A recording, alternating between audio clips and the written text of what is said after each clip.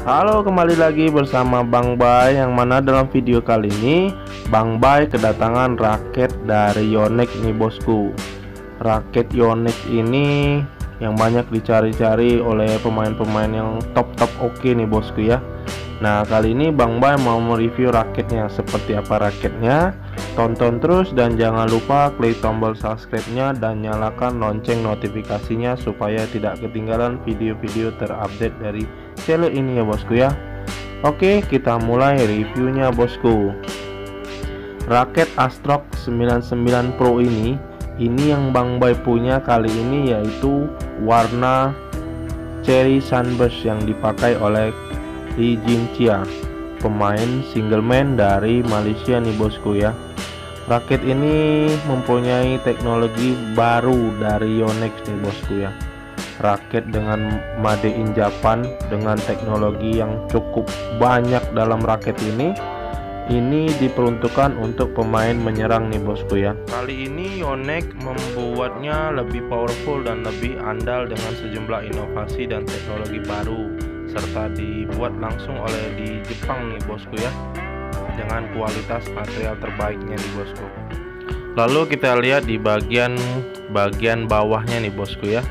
Bagian bawahnya kita lihat dari end capnya dia seperti biasa ada background warna hijau seperti ini dan ada logo Yonex berwarna putih dan tulisan Japan yang lebih kecil nih bosku ya. Nah, di sini kita lihat dari bentuk gripnya nih bosku. Gripnya dia dibalut dengan grip warna hitam dan tulisan do Yonex-nya ada juga nih bosku ya. Dilapisi dengan plastik bening seperti ini yang lebih rapat nih bosku. Panjang grip ini yaitu G5 nih bosku ya. Grip ini mempunyai ukuran G5 yang memudahkan untuk kita lebih nyaman dalam memegang raket ini bosku ya lanjut kita lihat di bagian samping sini ada logo atau B apa nih namanya? Hologram dari Sunrise nih bosku. Nah seperti itu raket dari Astrox 99 Pro di bagian gripnya nih bosku.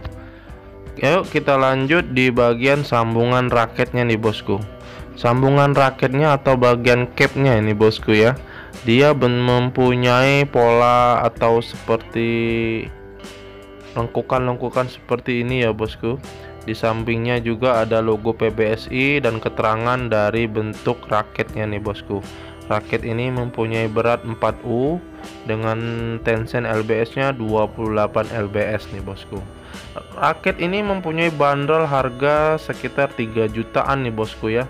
Oke, yang mempunyai uang atau mempunyai budget yang cukup ini cocok harus dibeli nih bosku ya. Karena raket Astrox 99 Pro ini mempunyai banyak-banyak banget teknologi terbarunya nih bosku. Ada teknologi power assist bumpernya bosku ya Power assist bumper ini tenaga yang ditingkatkan dengan bumper berbobot yang diresapi tungsten yang menambah bobot 55% lebih banyak dari grommet konvensional. Power assist bumper meningkatkan rational generation system dengan cepat mentransfer lebih banyak bobot dari kok nih bosku ya. Lalu kita lanjut lagi di bagian T-nya nih bosku bagian T nya dia mempunyai teknologi yang namanya Aero plus box frame Aero plus box frame ini teknologi yang menggabungkan nuansa pukulan yang solid dan ayunan yang cepat nih bosku ya. Pada Grommet Astrox 99 Pro ini yang ditingkatkan dengan pola baru yang menggunakan grommet yang lebih besar di, ditempatkan secara strategis nih bosku. Teknologi ini memungkinkan lebih banyak gerakan senar pada benturan dan pada akhirnya meningkatkan penahanan kok untuk pengambilan pukulan yang lebih tegas nih bos. Lalu teknologi yang ada dalam raket Astrox 99 Pro ini yaitu ada namanya volume cut resin ya bosku ya. Volume cut resin ini merupakan resin inovatif yang memberikan daya rekat kuat dan material dan bobot yang lebih sedikit nih bosku.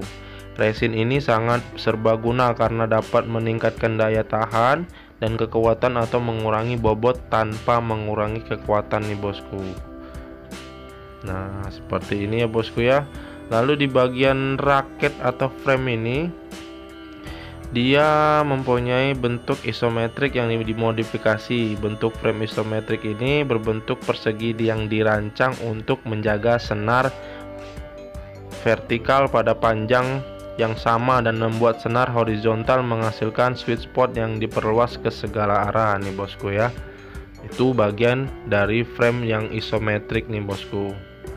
Lalu di sini juga ada namanya teknologi NMD nih bosku ya di bagian sisi samping rakit ini juga mempunyai teknologi namanya NMD NMD ini merupakan material grafit dimensi baru yang di, pertama di dunia.